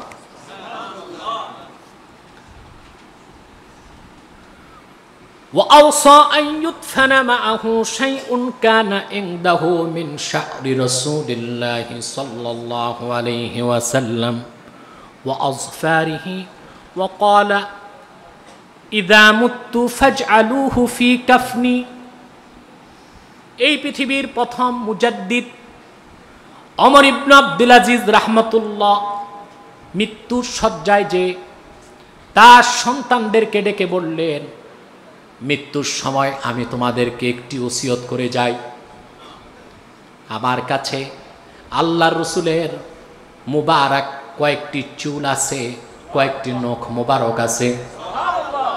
আমার যখন মৃত্যু হয়ে যাবে, আমার কাফনের সঙ্গে রসুল্লাহর চুল মোবারক আর নখ মোবারক দিয়ে দিও যেন কবরে আজাব না ওমর ইবন আব্দুল আজিজ রহমতুল্লাহ প্রথম মুজাদ্দিদ মুজাদ্দিদ বেদাত করে। কথা বলেন। এখন ওনার যুগে যদি আমাদের দেশের মৌলবীদের মতো থাকতো তো বলতো, আপনি যে কাজ করতে যাচ্ছেন, আবু বকর সিদ্দিক করছে নাকি? আপনার নানা হজরত ওমর করছে নাকি? ওসমান গনি করছে নাকি? হজরত আলী করছে নাকি? আপনি তো তাবি, কোনো সাহাবি তো করে নাই। আপনি রসুল্লার চুল মুবারক আর নোক মুবারক কাফনি ঢুকাবেন কেন? এ তো বেদাত হবে। বলছে আরে নাদানের দল এখন বলতেছে তো আপনারা ঈদে মিলাদুন্নবী করেন। এটাকে আবু বকর সিদ্দিক করছে নাকি? অমর করছেন, আলী করছেন, ওসমান করছেন, সাহাবিগণ করছেন। তা আমি বলি অমর ইবনে আব্দুল আজিজ যেটা করছেন, প্রথম মুজাদ্দিদ, এটিকে হাজরত আবু বকর করছেন। অমর করছেন, ওসমান করছেন, আলী করছেন, কোন সাহাবি করছেন? কেউ বেদাত বলছেন? মুজাদ্দেদকে যদি বলে বেদাত করছে, তো মুজাদ্দেদ থাকে কই? মুজাদ্দেদের কাজই তো বেদাত মিটানো। কারণ অমর ইবনে আব্দুল আজিজের এই কাজ, এটা সম্পর্ক সুন্নতের সাথে ছিল না আজমতের সাথে ছিল। আজমতের রসুল এক জিনিস, সুন্নতের রসুল আরেক জিনিস। বেদাত খুঁজতে হয় সুন্নতের বিপরীতে, আজমতের ক্ষেত্রে নয়। রসুল্লাহর আজমত যার অন্তরে যত বাড়বে, আল্লাহর কাছে তার মর্যাদা আর তার ভালোবাসা তত বাড়বে। আজমতের রসুলের কথা শেষ। এবার আসেন মহাব্বতের রসুল। আহারে, রাত পার হবে, শেষ করা যাবে না। আমি খুব সংক্ষেপে করছি। আর অনেক আন্তর্জাতিক আলেমরা বসে আছেন। পীরে কামেল মাওলানা শফিকুল ইসলাম ফাতেহাবাদী সাহেব, তিনি আরাম করতেছেন। আমার পরপরই তিনি চলে আসবেন ইনশাল্লাহ আমরা ফজরের আগে মোনাজাত করব যেন ফজর পরে বাড়ি যেতে পারি। একটি রাত কালকে আমতে আমাদের নাজাতের জারিয়া হতে পারে। ঠিক কিনা বলেন? প্রিয় ভাই সব, আমার ভাই বন্ধুগণ, কথা শুনতেছেন? মহাব্বতের রসুল। রসুল্লার মহাব্বত ভালোবাসা। দ্বিতীয়টা কি বলুন তো ভাই? আজমতে রসুল, এটা ছাড়া মুসলমান হওয়া, মমিন হওয়া, তারপর কি? সুন্নত মহাব্বতের রসুল। এটা ছাড়া পরিপূর্ণ মমিন হওয়া যাবে না। হওয়া যাবে? রসুল করিম সাল্লাহ আলী সাল্লামের মহাব্বত কি রকম করতে হয়। আপনার তা জানেন, আমি ব্যাখ্যা করব না। সাহাব একরাম কীরকম মহব্বত করতেন আল্লাহ রসুলকে? অহুদ ময়দানে যুদ্ধ হচ্ছে। আল্লাহ রসুল সাল্লাহ আসলামের সবচেয়ে বেশি রক্ত ঝরেছে অহুদে কোথায়? কিছু সাহাবির ভুল সিদ্ধান্তের কারণে কাফেরদের পক্ষ থেকে আক্রমণ বেড়ে গেল। রসুল্লাহ সাল্লাহ প্রিয় সাহাবি হজরত কতাদা, তিনি আল্লাহ রসুলের সামনে এসে দাঁড়ায় গেছেন। যেন কাফেরদের নিক্ষিপ্ত একটি তীরও রসুল্লাহ শরীর মুবারকে না লাগে।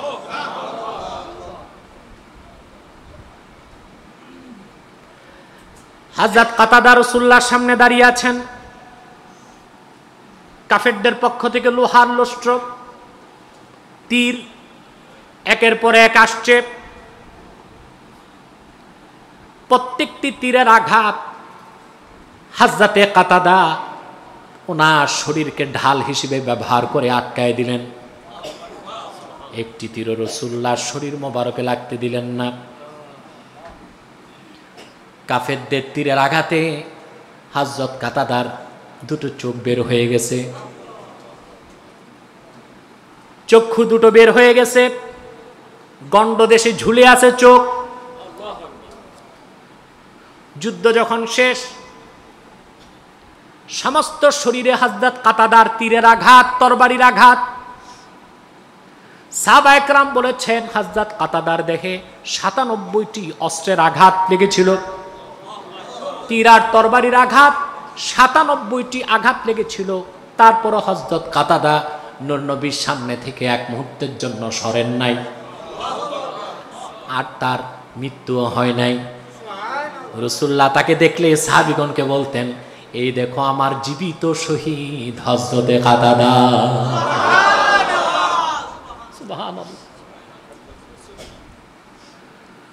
চক্ষু দুটো ঝুলে আছে। হজরত কাতাদা এসে রসুল্লাহর সামনে দাঁড়িয়ে আছেন। ইয়া রসুল্লাহ ইয়া হাবিব আল্লাহ আপনার ভালোবাসায় জীবন দিতে চেয়েছিলাম। অগণিত আঘাত লেগেছে। আমার শরীরে শহীদ তো হলাম না। দুটো চক্ষু ঝুলে আছে। আমি আপনার নূরের চেহারা না দেখে বেঁচে থাকতে তো পারব না। যতদিন বেঁচে থাকব, আপনার নুরময় চেহারা যেন আল্লাহ পাক দেখার তৌফিক আমাকে দান করেন। রসুল্লাহ হাত তুলে দোয়া করলেন কি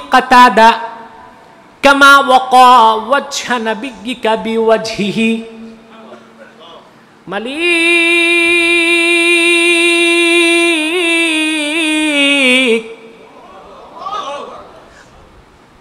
তোমার বান্দা কাতাদা, তার চেহারাকে ক্ষত বিক্ষত করে, তোমার রসুলের চেহারাকে যেভাবে রক্ষা করেছে, তুমি আমার সাহাবি কাতাদার চেহারাকে ঠিক করে দাও, চক্ষু ঠিক করে দাও।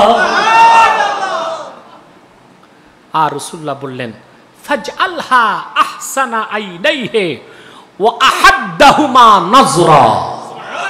আল্লাহ তাকে চোখ ফিরায় দাও, তার দৃষ্টি বাড়ায় দাও, আগের চেয়ে তীক্ষ্ণ করে দাও। রসুল্লাহ নূরময় হাতে চোখ দুটো বসালেন, চক্ষু লেগে গেল। হাজরাত কাতাদা বলেন, আমার দৃষ্টি আগের চো আরও তীক্ষ্ণ হয়ে গেল, প্রখর বেড়ে গেল। এই ছিল রসুল্লাহর মহাব্বত, ঠিক কিনা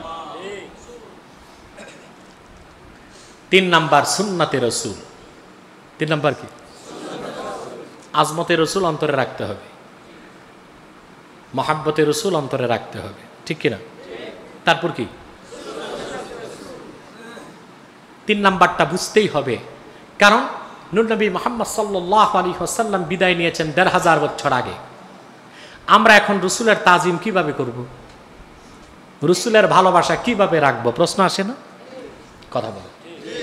আল্লাহ রসুলের রেখে যাওয়া সুন্নতের মহাব্বত অনুসরণ করলেই রসুল্লাহ সাল্লাহ আসলামের মহাব্বত অন্তরে স্থান পাবে। রসুল্লাহর রেখে যাওয়া শরিয়াত ও সুন্নতের তাজিম করলেই রসুল্লাহকে তাজিম করার সম্মান আল্লাহ আমল নামায় দিয়ে দিবেন তিন নম্বরটা কি? রসুল্লাহ সাল্লাহ আলী সাল্লামের সুন্নাত। এটা একটু ব্যাখ্যা করব আমি। আর এই কথাটা অনেকের জন্য কঠিন মনে হবে। সেটা হলো আমরা সুন্নত বুঝি না। আমরা সুন্নত আমরা বুঝি কি? ফরজ তারপর ওয়াজিব তারপরে সুন্নত তারপরে নফল। ঠিক কিনা? এটা বলি না? এই জন্য সুন্নতের প্রতি আমাদের কোনো গুরুত্ব সুন্নতের দুটো অর্থ একটি হলো নীতি একটি হলো আমল। একটি কি? সুন্নতকে গ্রহণ করতে হবে নীতি হিসেবে, সুন্নতকে গ্রহণ করতে হবে আমল হিসেবে। আমাদের আমলে কিছু সুন্নত আছে, দাড়ি আছে, টুপি আছে, পোশাক আশাক ঠিক আছে, দস্তরখানে খাই, মেসওয়াক করি, খাওয়ার পরে কায়দুলা করি, রাতে একটু খাওয়ার পর হাঁটি, মাঝে মধ্যে কদু খাই, মিষ্টি খাই। ঠিক কিনা? আমল হিসেবে কিছু সুন্নত নিয়েছি, নীতি হিসেবে রসুল্লাহর সুন্নত নিতে পারি নাই। ঠিক কিনা? নীতি হিসেবে রসুল্লাহর সুন্নতকে গ্রহণ না করলে যে মুসলমান হওয়া যায় না, আল্লাহ কোরআন স্পষ্ট করে দিয়েছে। আল্লাহ পাক বলেন, মা কান আলি মুমিনু ওয়ালা মুমিনাতিন ইযা কাদাল্লাহু ওয়া রাসূলুহু আমরান আন ইয়াকুনা লাহুমুল খিয়ারাতু মিন আমরিহিম। ومن يعص الله ورسوله فقد ضل ضلالا مبينا কোন মমিনের জন্য কোন মমিন নরনারীর জন্য মুসলিম নরনারীর জন্য এই অধিকার নেই এই সুযোগ নেই যে আল্লাহ ও আল্লাহ রসুলের সিদ্ধান্তকে না মেনে নিজেদের মন মস্তিষ্ক প্রসূত কিংবা মন গড়া মতবাদ, মতাদর্শ সিদ্ধান্ত মানবে। এই সুযোগ আল্লাহর পক্ষ থেকে কোনো মমিন নরনারীকে দেওয়া হয় নাই।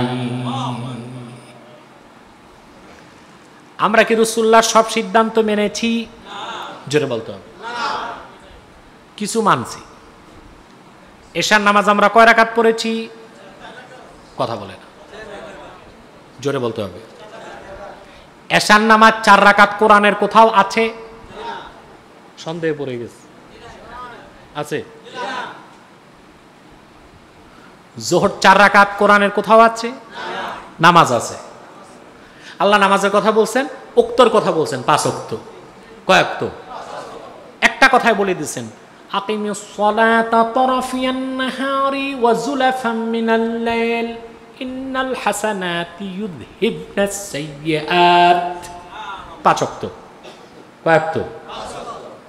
কিন্তু এশা চার, জোহর চার, আসর চার, মাগরিব তিন, ফজর দুই। কই আছে? হাদিসে আছে। সিদ্ধান্ত কে দিয়েছেন? আল্লাহ রসুল সাল্লাহ এই সিদ্ধান্ত আমরা মানি?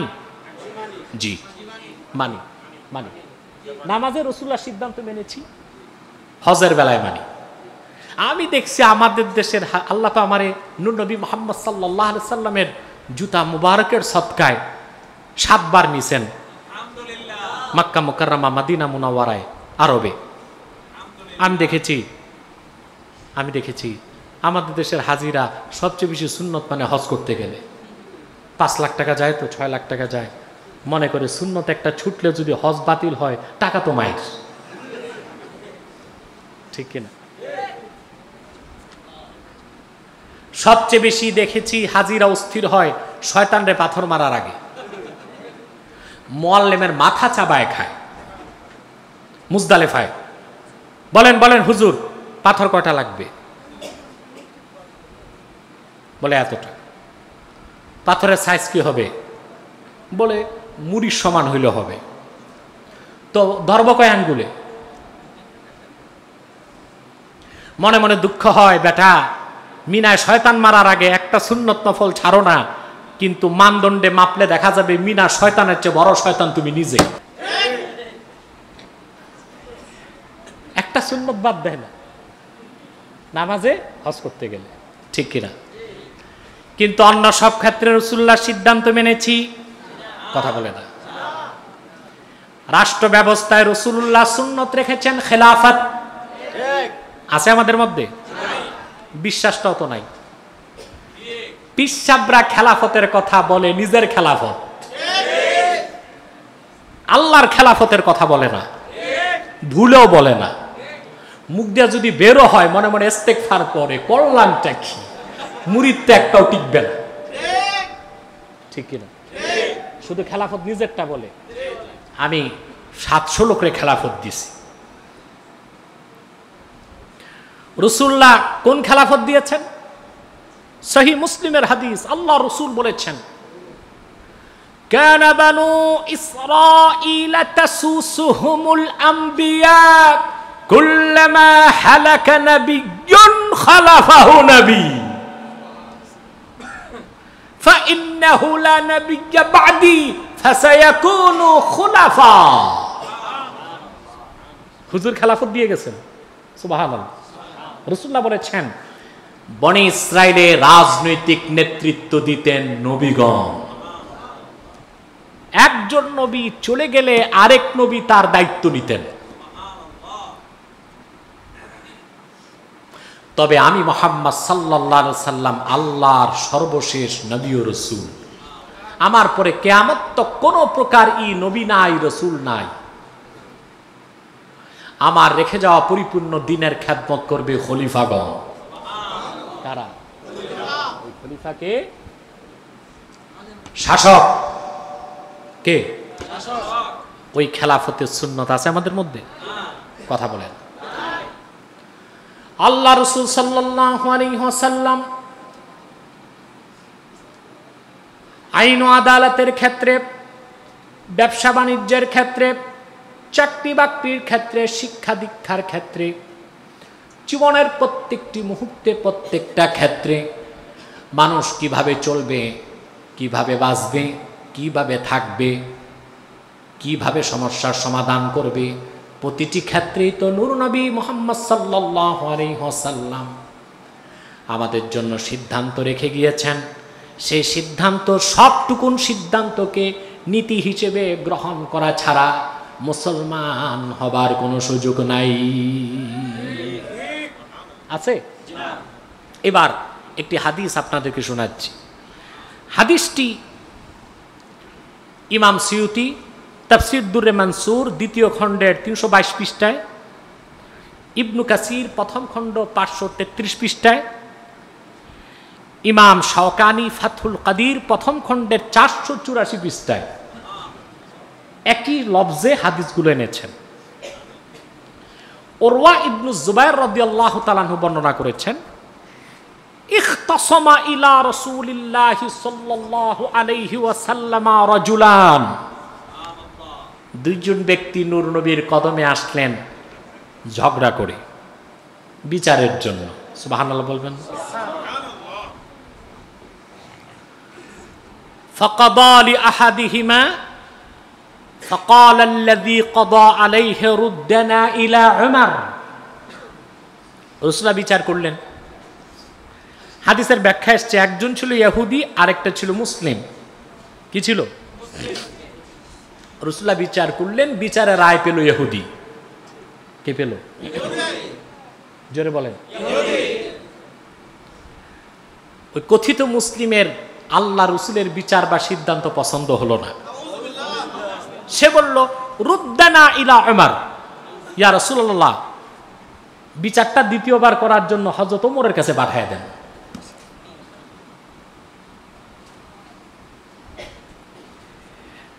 فقال رسول الله صلى الله عليه وسلم نعم انطلقوا الى عمر ঠিক আছে যাও ওমরের কাছে যাও আবার বিচার করে দিবে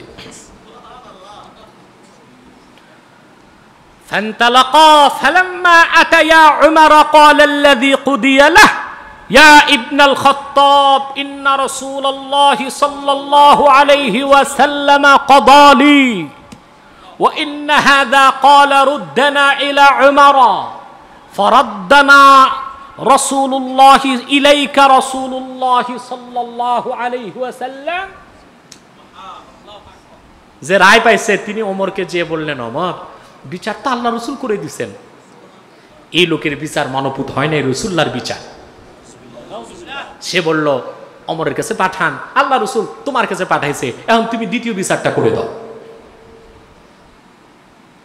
কথা বুঝতেছেন ভাই সব? ফকালা ওমার, আকাদালিক লিল্লাদি কুদিয়া আলাইহ। যে বিচারে ঠকছে হজরত ওমর বললেন, বিষয়টা কি এমনই? জি। অন্য হাদিসে এসছে, ওই লোকটা বলল যে, দেখেন অমর আমি মুসলিম, জিহাদ করি জাকাত দেই, সৎকা দেই। ন্যায় অন্যায় পরে ইয়াহুদি কেমন করে রায় পায়? কথা বুঝতেছেন? ইসলামে স্বজন প্রীতি নাই। মনে রেখো মুসলমান, এই পৃথিবীতে সাম্য মৈত্রী আইনের শাসন এবং ন্যায় পরায়ণতা উপহার কাল মার্কস দেয় নাই। লেলিন স্টালিন দেয় নাই। জরেমি দেয় নাই। অ্যারিস্টটল দেয় নাই। আর্কিমেডিস দেয় নাই। আব্রাহাম লিঙ্কন দেয় নাই। জর্জ ওয়াশিংটন দেয় নাই। গোটা বিশ্ব মানবতাকে ন্যায় পরায়ণতা ন্যায় বিচার সাম্য, শান্তি, সমৃদ্ধি আইনের শাসন উপহার দিয়েছেন বিশ্ব মানবতার মুক্তির দূত নবীকুল সম্রাট মোহাম্মদ দেড় হাজার বছর আগে।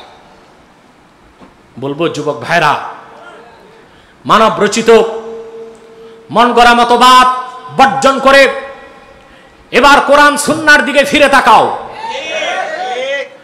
মানুষের মন গড়া তন্ত্রমন্ত্রকে নাস্বাত করে মানব রচিত মতবাদগুলোকে পৃষ্ঠ দেখিয়ে কোরআন সুন্নার দিকে ফিরে তাকাও। আর ইসলাম, ইমান, মুসলমান ও বাংলাদেশের স্বাধীনতা সার্বভৌমত্বের শত্রুদের রুখে দাঁড়াও। এই স্লোগানটি নিয়ে যেতে হবে। দরবার শরীফ থেকে রাজি আছেন হাজত ওমর বললেন বিষয়টা এমন যে মুসলিম ঠকছে কয় হ বিষয়টা ন্যায় অন্যায় পরের কথা রায় ইহুদি পায় কেমন করে হাজত ওমর বললেন فقال عمر مكانك حتى أخرج فأقضي بينكما ঠিক আছে বিচার যখন রসুল্লাহটা ভালো লাগে নাই তা আমি সুষ্ঠু বিচার করে দেই এখানেই দাঁড়ায় থাকো আমি আসতেছি فخرج مستملا على سيفه فضرب الذي قال ردنا إلى عمر فقتله وأدبر الآخر إلى رسول الله صلى الله عليه وسلم যে মুসলিম রসুল্লার বিচার মানে নাই হজরত ওমর এসে দ্বিতীয় কথা নাই খাপ থেকে তরবারি বের করে এক আঘাতে তার গর্দান উড়াই দিছে এ দেখে ইহুদি সোজা দিছে দৌড়। এই যদি হয় মুসলিমের বিচার, আমার জানি কোনটা হয়।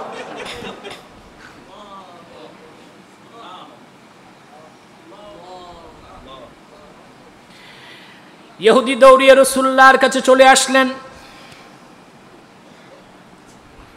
এসে বললেন, ইয়া রসুল্লাহ কতালা উমারু সাহিবি। আমার সঙ্গে আপনার সাহাবি যে লোকটি গিয়েছে মুসলিম দাবিদার অমর তো তার গর্দান কেটে ফেলেছে ওয়ালাউলা মা আজাস্তুহু লা কতালানি যদি আমি দৌড়ে না ভাগতাম আমারও তিনি শেষ করতেন فقال رسول الله صلى الله عليه وسلم ما كنت أظن أن عمر يجتري على قتل مؤمن আমি তো চিন্তাও করি নাই, অমর রাগের বশবর্তী হয়ে একজন মমিন মুসলমানকে কতল করে ফেলবে। এই কথা শুনে হাজরত ওমরের চেহারাটা মলিন হয়ে গেল। আসলে কি মমিনকে আমি হত্যা করলাম কিনা? কোন মুসলিমকে হত্যা করলাম কিনা? মাদিনা মোনাওয়ারায় আওয়াজ শুরু হয়ে গেল। অমর একজন মুসলমানকে হত্যা করেছে। ঠিক কিনা বলেন? আসলে কি অমর মুসলমান হত্যা করেছিলেন নাকি? এখনও যারা উমরের উত্তরসূরি দুনিয়ায় আছে, মোনাফেকরা অপবাদ দেয় কথায় কথায়, মুসলমানকে কাফের বলে। ঠিক কিনা? বলে আমরা কথায় কথায় কাফের বলি। আমরা কথায় কথায় কাফের বলি। কাফেরকে তো বলি না, মুসলিমকে তো বলি না, যে কাফের হয় তারে না বলি। ঠিক কিনা? যাদেরকে বলেছি, যেসব বক্তা রসুল্লার সম্মান মর্যাদার বিরুদ্ধে কথা বলেছে, যাদেরকে আমরা কুফুরির ফতুয়া দিয়েছি, কাফের বলেছি, ঘুরে ফিরে এক সময় সবাই তো তা মানে। পরে মানে কেন? গাধার কাজ পানি পরিষ্কার খায় না, গোলা করে খায়। ঠিক কিনা? হাজরত ওমরের মনটা বেজার হয়ে গেল। হাজরত ওমরের মনটা বেজার হয়ে গেল। আমি কি একটা মুসলমান মেরে ফেললাম? কথা বুঝতেছেন? আল্লাহ পাক আয়াত নাজিল করে দিলেন। সুবহানাল্লাহ বলবেন না?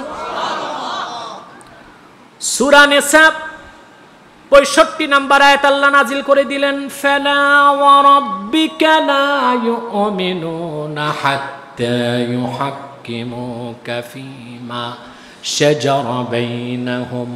ثم لا يجدوا في أنفسهم حرجا مما قضيت ويسلموا تسليما আল্লাহ পাক ডাক দিয়ে বললেন মোহাম্মদ সাল্লাল্লাহু আলাইহি সাল্লাম আপনার রবের কসম সুবহানাল্লাহ বলবেন না যতক্ষণ পর্যন্ত তারা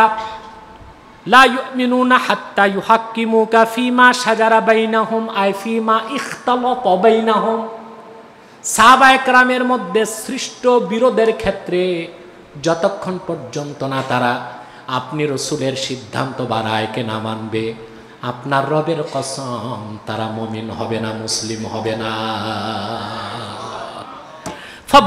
আল্লাহু উমারা মিন কাতলিহি।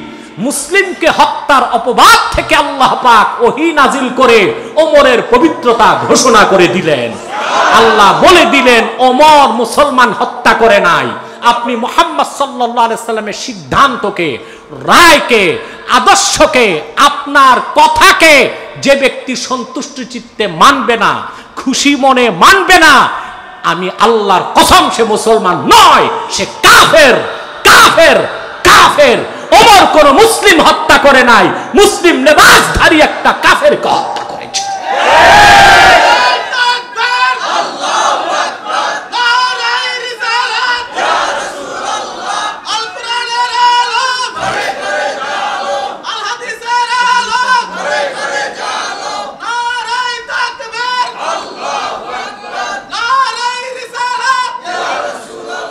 প্রিয় ভাই বন্ধুগণ তাহলে কি বোঝা যায় ভাই বুঝতেছেন? আল্লাহ রসুলের সুন্নত মানে কি শুধু দাড়ি টুপি? আল্লাহ রসুল দেড় হাজার বছর আগে যে নীতি, যে রীতি, যে তরিকা, যে আদর্শ, যে উসবাদ রেখে গিয়েছেন, তার সবটুকুন পালন করতে পারি আর না পারি বিশ্বাস করতে হবে। এই নীতি হিসেবে সুন্নতকে বিশ্বাস করলে আপনি মুসলমান। তারপর যতটুকু পারেন সুন্নতকে আমল করবেন। আমরা সুন্নতকে গ্রহণ করেছি কয়েকটা আমল হিসেবে, নীতি হিসেবে গ্রহণ করি নাই। এই জন্য আমরা খাঁটি সুন্নিও হতে পারি না তাই কয়টা কথা বললাম? আজমতে রসুল মোহাব্বতের রসুল সুন্নতের রসুল। এই তিনটা যার মধ্যে আছে তারই নাম? আশেকে রসুল। তারই নাম সুন্নি। চিনছেন? না আরও চিনাইতে হবে। কথা বলেন। আজকে আমরা নজদিও চিনছি, বেদাতিও চিনছি। ঠিক কিনা? আমরা সত্যিকার সুন্নি। ঠিক কিনা বলে? খাঁটি সুন্নি তো তারা। যাদের সবচেয়ে তীব্র হুঙ্কার হবে সকল প্রকার কাফের, মোশেক রামবাম নাস্তিকদের বিরুদ্ধে। খাঁটি সুন্নিত তারাই সেরেক কুফরের বিরুদ্ধে চলবে যাদের সংগ্রাম। খাঁটি সুন্নিত তারাই আল্লাহ তার রসুল সাল্লামের সম্মান মর্যাদার বিরুদ্ধে একটি অক্ষরকে তারা বরদাস্ত করে নিতে পারবে না। প্রয়োজনে জান মাল উৎসর্গ করে দিবে, তারাই খাঁটি সুন্নি, ঠিক কিনা বলে আল্লাহ পাক আমাদেরকে খাঁটি সুন্নি হিসেবে কবুল করুক। বলুন আল্লাহ আমিন। জোরে বলেন আল্লাহ আমিন। আমরা আজকে সবক পেলাম তো? আজমতের রসুল, মোহাব্বতের রসুল। সুন্নতের রসুল। এই তিনটা যার মধ্যে আছে তার নাম আশেকের রসুল। তারই আরেক নাম সুন্নি। এর বাইরে যে হয় নজদি, নয় বেদাতি। কবর পূজারি, মাজার পূজারি, খাট পূজারি। না ইহাবি, না উহাবি, কিছু ভি নেই এটা আমি নতুন বছরের ডায়লগ দিলাম। এটা আপনারা ভালো মতো মনে রাখবেন প্রচার করবেন পারবেন না ইনশাল্লাহ? আমি আপাতত বিদায় নিচ্ছি।